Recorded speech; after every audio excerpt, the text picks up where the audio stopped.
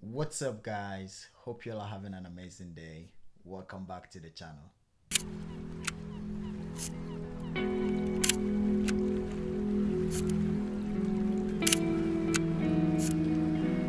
In today's video, I'm going to be doing something different, something that I have been wanting to do for a while. Um, it's kind of an exercise to give myself to be able to get some photos that I can print or get myself into doing more printing. So I'm not gonna talk much. I just want you to enjoy this video.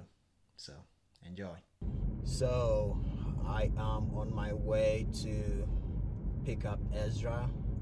Um, maybe his girlfriend Kaya will join us, but we are going to be driving to Cleveland. Um, Ezra mentioned there is a lighthouse there. I have never been. I, I have seen photos of it on Instagram by some Columbus and Cleveland photographers, but I have personally never been there. Um, so this evening was right after I finished exporting last week video. Um, I messaged Ezra if he wanted to go out and take some photos around somewhere, and it's kind of uh, a bit boring here in um, Columbus. Actually, I live in Pickerington, and Ezra lives around um, Columbus. We all live around Columbus, so when it comes to going to take photos, it's we are very very limited to locations. So he suggested we go to Cleveland um, to this lighthouse to take the photos. So that is where we are going. That is where we will be going. I'm on my way to pick up Ezra right now at his place, and we will be on our way. But today the goal is to get at least one photo that I can print.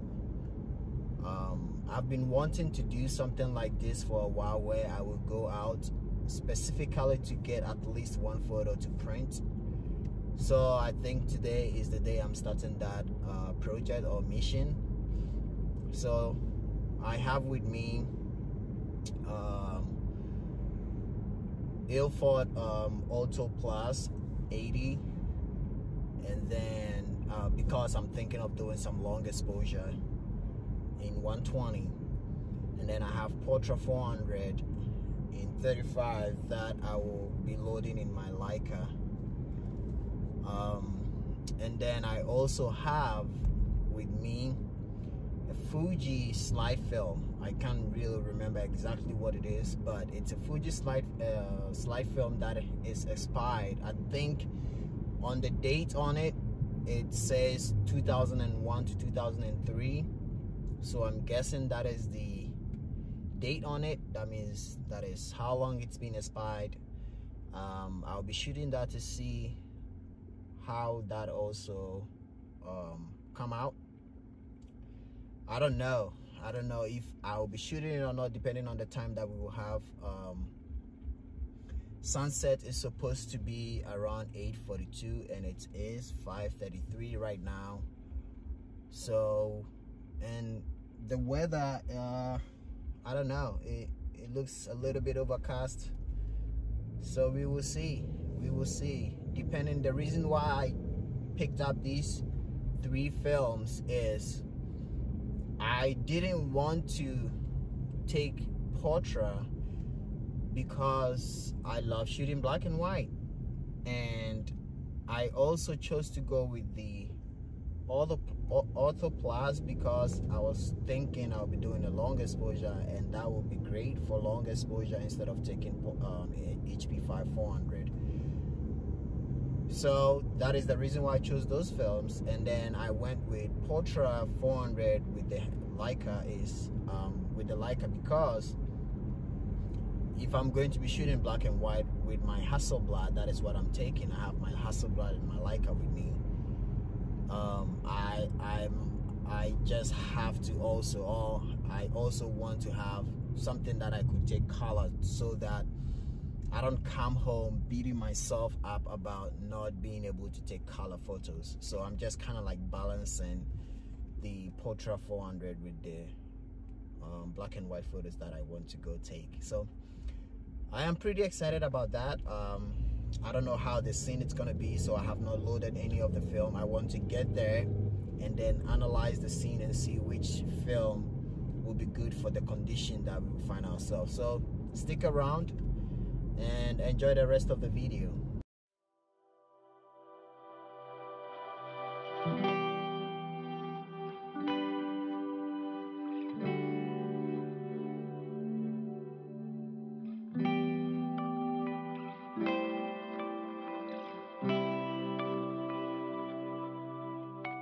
Oh wait, wait, wait, wait.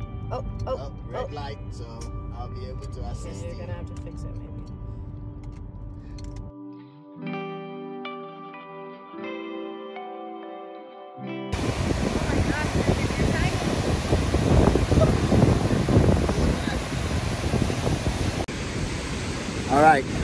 Just got here, but I I think we came too late.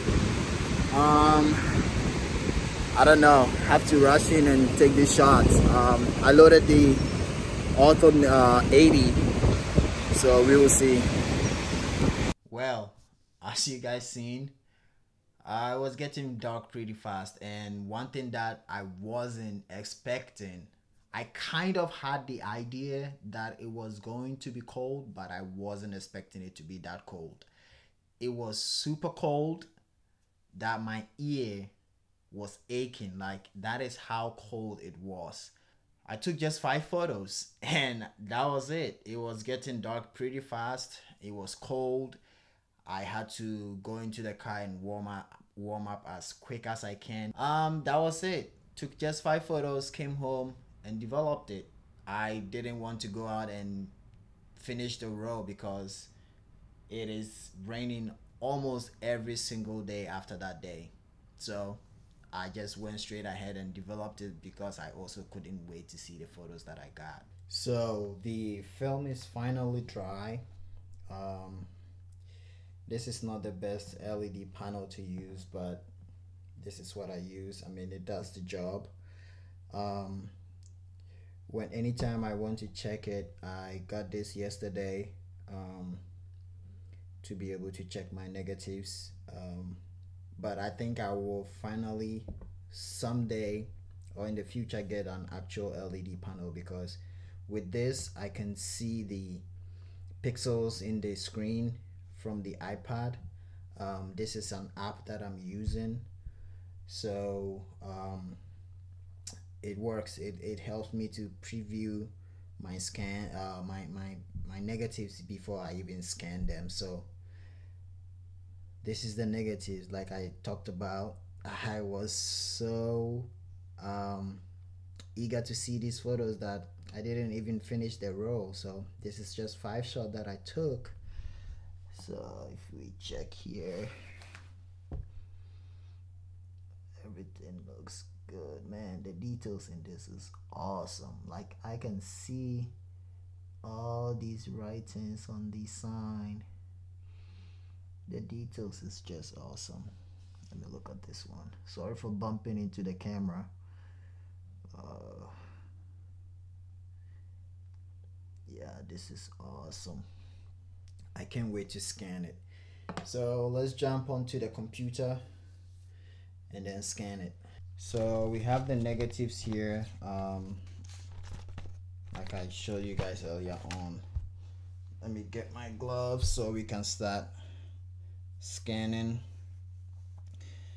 I don't want this video to be too long but I also didn't want to or don't want to make it a part one and part two version of videos. Um, I'm not really I like it when people do it and they do it good but I don't know. I don't know if I want to do that so I'm gonna try to do everything in one single video. So I have here my Canon 9000F Mark II um, I bought this from my friend Sean. Um, previously I was using an Epson um, V500 and it was giving me decent results, but I wasn't able to use the software on my um, computer because the version wasn't working with the new uh, Mac OS. So I had to use my um, Windows computer that I had. So I am finally glad that I bought this from Sean and now I can just do everything on here um, without having to use two systems. So that's awesome. So let's load the film in here. Um, get the blower ready. So let's load this film in here. Close it up. Blow it up. Um, previously when I started shooting film, we didn't have a dog so when scanning, I didn't have to pay attention to dog hair or pet hair anywhere. But recently, I've been realizing that I've been getting hairs on my scans. I don't want any dog hair on on here.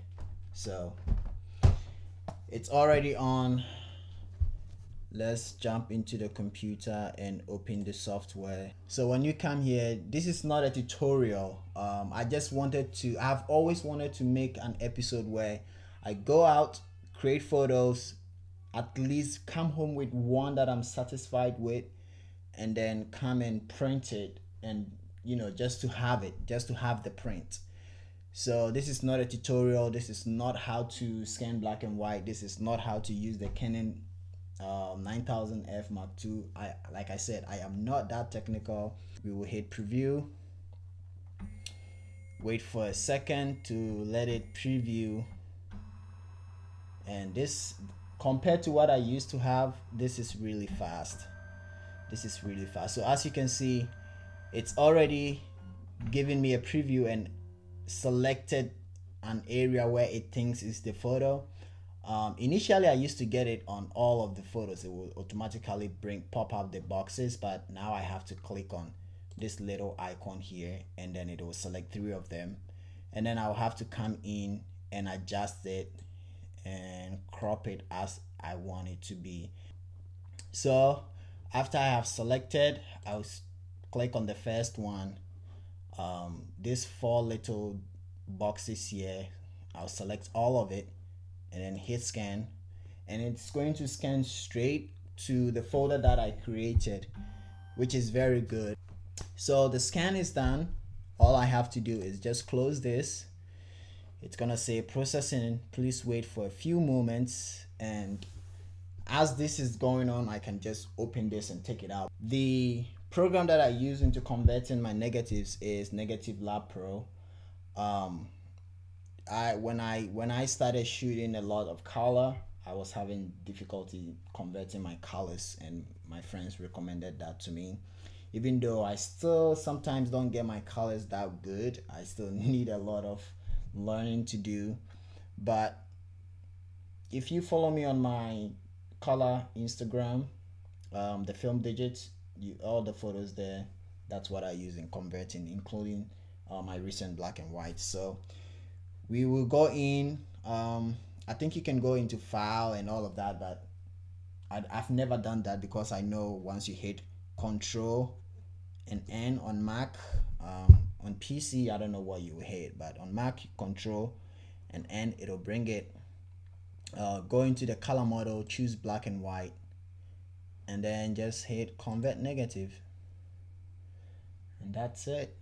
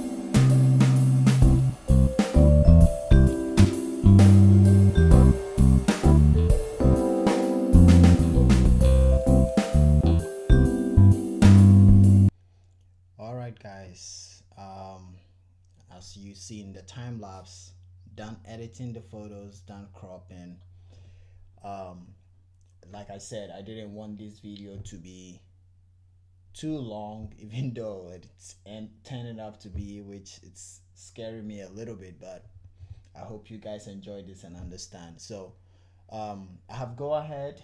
It was tough. Some was very simple to do but it was tough for me to choose which one i really like to print um i ended up going with this one right here and then um this oh not this one this very first one right here. And the reason why i chose these two photos i think even though it's the same location they can still go together is this is a little bit tighter on the lighthouse. Um, it's very tight on it and you have this log or um, leading you into the shot. And then you have this rocks here going in as well. And then this tree on the left here is kind of like balancing the composition because without it i don't think i would have liked it that much. Um, the other thing that i don't like about this photo um, or the, the the things that i wish it could be different is I wish these trees that are back here, I wouldn't have mind that much with this one, but these trees that are back here, I wish they weren't there. Um, but it doesn't really bother me that much, but still, I wish they weren't there. This tree, I, I, I like that it's there. I even wish it was a little bit shifted to the left, but it's still good. Um, so I ended up going with this because it's very tight I have two shots, two shots of the same um, angle like this. It is this and that, but I chose the other one instead of this because sorry for bumping into the mic because the log in the other one is a little bit bigger and it cuts right from the corner and lead you into it and I have more rocks on the on the right hand side leading you into the lighthouse um, and then because the lighthouse had those lights that like spins if i don't know if you guys can see but if i zoom in here and bring this down you can see there's a line white line going through here and that is the light that is like flashing. If it was color you will see what i'm talking about. Um, i can take that out but i don't want to. Um, i just wanted to I, I want it there so i i will know in the future I want to come back to it, it is that it was the light and the light was working.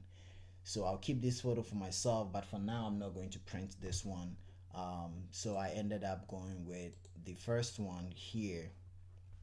And to prepare it for printing I have added more contrast to it um, even though you can still see more details in the shadow areas. Um, but yeah I wanted the photo to have pure black you can see gray and then white. So it has all those uh, shades of uh, gray in in the photo which is really really nice when you have a photo like that. So that is what made me chose this. And then because i shot like i said five photos and um, they are all good but two of those two of the photos really really was strong among the five. So i decided to print two. And so the other one that i went with is this one which is also a larger view um, of where the lighthouse it kinds of give you um, more story um, to the photograph. So with the first one that i showed it's a more tighter it's more concentrated on the rocks the the lake uh, in the background, the lighthouse, and the trees. But this gives you a little bit more context, so it shows you that there is a, a way that you, if if looking at looking at the previous photo, um, you could you couldn't tell how to get to the lighthouse. You might think it's like way into the ocean or the lake or somewhere like that. Um, but with this photo, it tells you like it's right there and you can walk right to it. And you have the sign right here.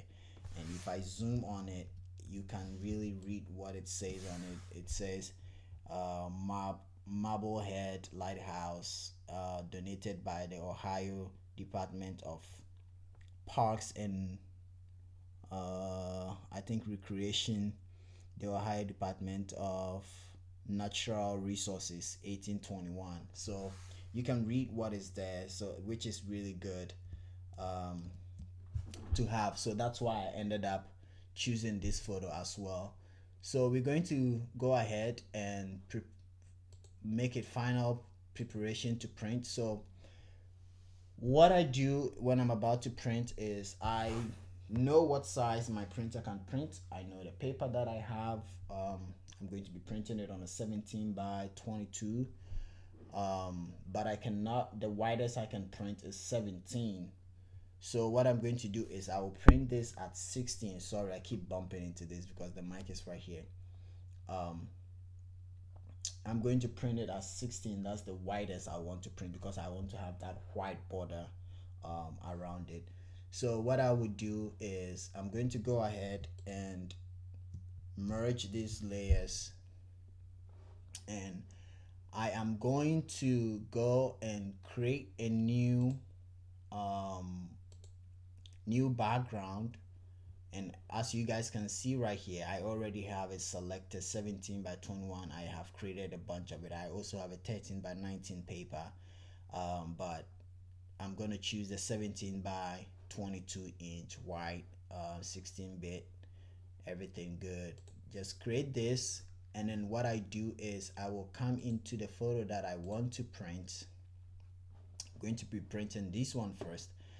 I will come in the image size and I will resize it to 16 by 16 so 16 by 16 um, and I always I, I I always like it when I have my the white in the photo to be slightly off um, so you can tell the difference between the paper and the photo. So I have this ready. Uh, we're going to do the same thing for um, the other the other photo. So we'll go ahead and create mostly I will just print this and then come back and then take just delete the photo from here and add the, the other one. But for the sake of this video let's create another blank um, background go into where is it? I think it's this one. Okay so because I want it to be that close so let's move it oop let's move it closer to this background. Okay it's right here.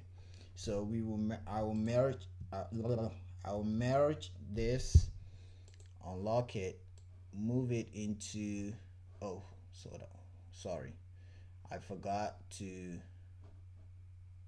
never mind. I forgot to resize. So we come here resize it to 16 by 16 change the resolution to 300 so click ok. And then now we can take it bring it in here. And then just snap it into place where it's supposed to be right there. So now we have a 17 by 7 uh, 17 by 22 inch paper. Let's go ahead. I think I'm just gonna print this one first.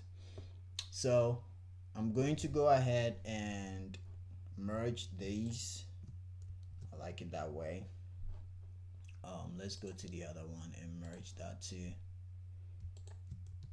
And then go back to the first one okay so it looks good so far. I'm going to turn my printer on. And then to print I always have to move this uh, so I can have the tray come out. This is it. This is the size. Um, I'm going to go ahead and grab the paper real quick. But before that let me put on let me put on my gloves and we will move the camera here in a bit to start the printing. Put in my paper.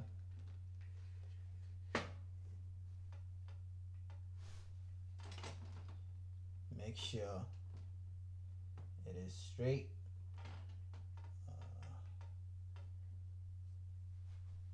paper is everything i've already i've already printed this uh the same paper so everything is already set in here. So i'm just gonna hit ok and then i'm just gonna hit print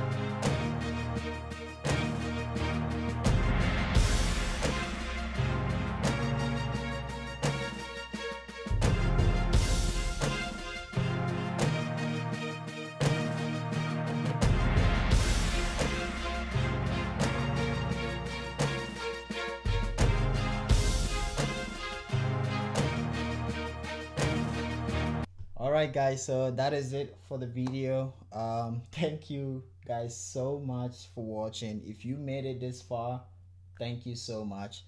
I know this video is so long. Um i will try as much as possible to to make it simple or make it short. Um but if you made it this far thank you. As you have seen um this looks beautiful. Like i will personally put this on my wall you know we, we we photographers we go out there create some photos and sometimes we want to sell it to people. But if you print a work or if you create a photo that you personally will not put in your home then you don't have to expect somebody else to put it in their home. But yeah this is beautiful. Like i uh, yeah i will print i will print this again um one will be for sale and then we'll probably um, put one in my hot in my house either in the here in the office or somewhere in the house. I, I have filled my whole house with my own photos so I barely have any more space but I'm pretty excited about this one. As you guys are seeing they came out really really really great. Um, so this looks good if you would like to purchase this very photo um, head over to my instagram kboateng underscore street and dm me there and i will ship this to you. It's gonna be a limited um, edition print so if you want this print dm me. Let's talk about that. All right thank you guys so much for watching. Until the next video go hit the street maybe somewhere in the mountains to the ocean.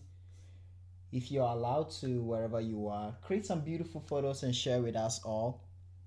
And you don't forget always create to inspire. See you guys in the next video